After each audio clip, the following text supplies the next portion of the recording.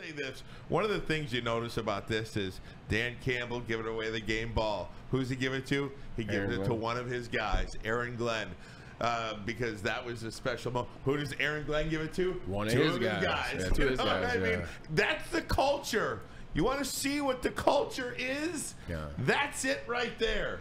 It is not me, it is we, and it happens. And I know it's cliche, Bray, but that is how this Lions team has gotten good so quickly.